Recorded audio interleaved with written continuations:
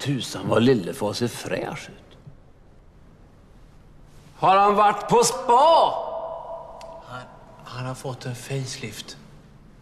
Ska jag rekommendera min fru? Ja. Torekov, Dandy Ryd, Nisse Kottasyr och Kajsa Karat. Välkomna till dagens styrelsemöte. Idag så har vi en väldigt viktig punkt på dagordningen. Ja, vi har ju äh, pratat om det här mineralvattnet.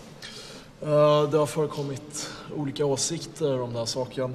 Äh, men så vitt jag minns så, så var vi överens om att vi skulle prova ett med större bubblor i. Mm. Men jag tror faktiskt att de är precis lika små som de var förra gången. Va? Kan det stämma? Ja. Men, eh, Har bror mätt? Eh, nej, det har jag inte. Det är jättesvårt. alltså, vad är det här för dårar? Prova själv. Alltså, de åker ju upp liksom jättefort. va. Ja, titta. Väldigt snabbt. Men nog är det små bubblor alltid. Men hörni. Hallå? Vilken snygg slips. Är inte det en väldigt snygg slips? Jag valde mellan den här och en annan som var grön. Men då tänkte jag, hur ofta har jag en grön slips på mig? Gissa? Ja, det är ju jättesvårt. Två gånger i månaden? Nej, aldrig. Och det beror på att jag inte har någon grön slips. Och jag har samma tyg på kalsongerna. Det är sant. Ska ni se?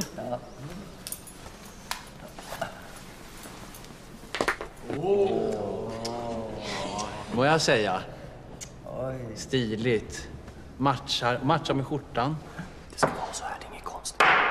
Nu får vi verkligen återgå till ordningen här. Ja, Ja, eh, det här med bubblorna. Kan vi ta det till protokollet att eh, vi provar ett nytt vatten nästa möte?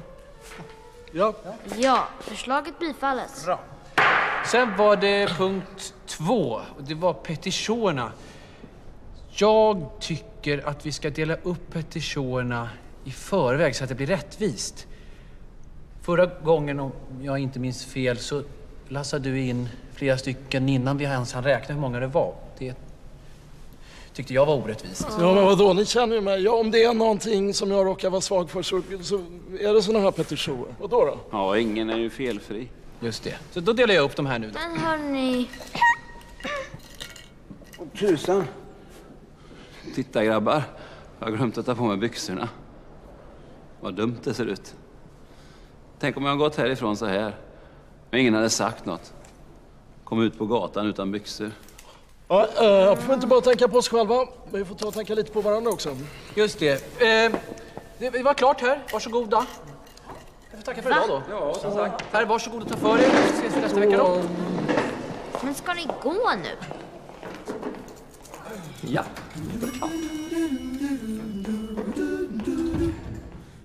Jag var beredd att lägga ner underjorden, precis som Bentley sagt. Men jag var inte alls beredd på att de i styrelsen bara ville prata om kakor och kalsonger.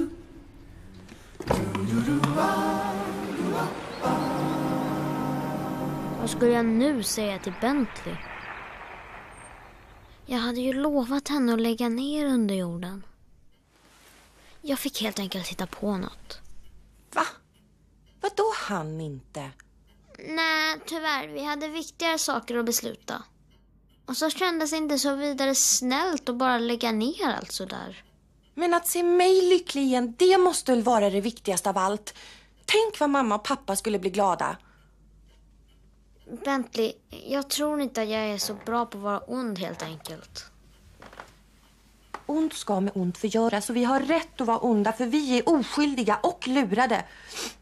Nej, att underjorden läggs ner det är vår enda tröst. Tröst? Behöver Lillefar tröst? Jag vet hur det är att vara sviken.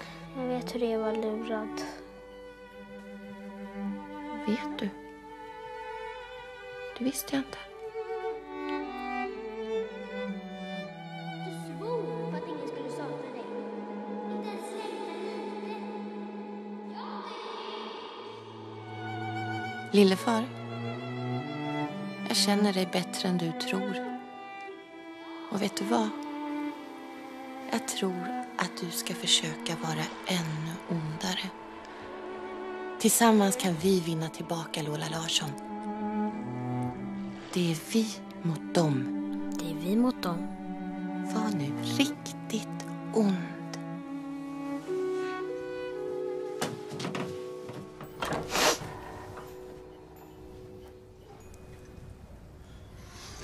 Bellas bollar? Någon? Varje dag klockan fyra delar tant Bölla ut julklappar till familjen. Fast det inte var julafton. Nam, nam, nam, nam, nam. Finns det några snälla barn här? Ja, då. Fullständigt idiotiskt. Dorian.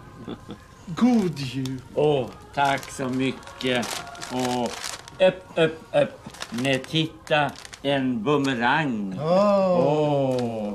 Alla skulle låtsas öppna paketen och bli låtsasglada för det som de inte ens fick. Åh, vad kan det vara? Papiljotter är precis vad jag behöver. Ingen ville göra Bölla besviken. Och lille Björk. God jul. Tack tomten. Upp, upp, upp. Åh, ett tennisracket. Och så lillefar.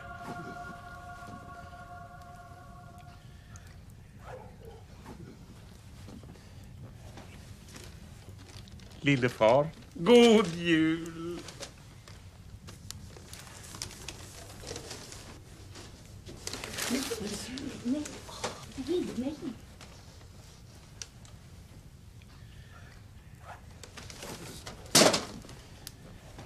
Vad är det här för något? Dag ut och dag in. År ut och år in. Men Ska det här verkligen vara nödvändigt? Men herregud, låt henne hålla på. Med vad då? Att varje dag är julafton. det gör väl inget. Vad är det nu? Vi har alltid hållit på så här.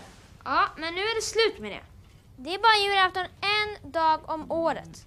Den 24 december. Så det så. God natt. Jag äter på mitt rum.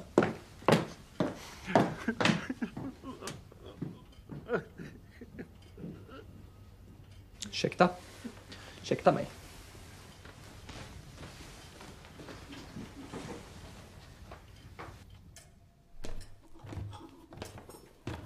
Det där var väl ytterst onödigt. Att ta i så. Mot en stackars gammal dam. Lille far. Mig lurar du inte. Det är jag som har gjort dig. Det är jag som har gett dig all din makt. För att jag trodde på dig. Jag litade på dig. Du må vara missförstådd och förvisad, men monstrum icke! Att hämnas, det är att missbruka den makt som du tror att du har. Är de som färdig? Ja, Bra. Då kan du komma till salongen om tio minuter.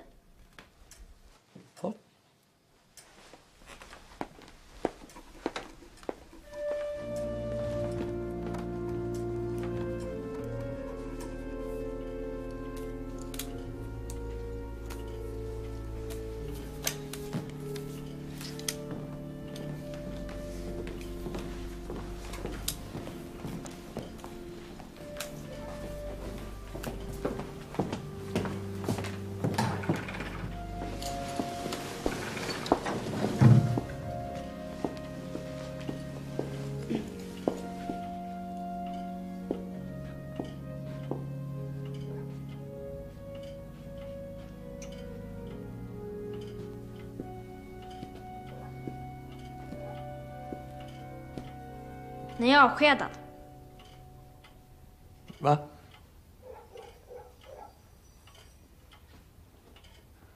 Jag har tjänstgjort i det här huset i 12 år. Ni ska vara ute ur detta hus inom en timme. Så här kan ni inte göra, lillefar. Kan jag inte?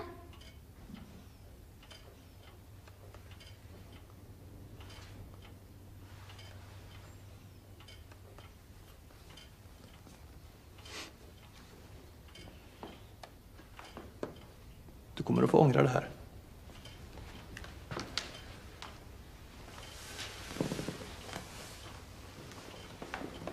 Egentligen är det ganska enkelt att vara ond och elak.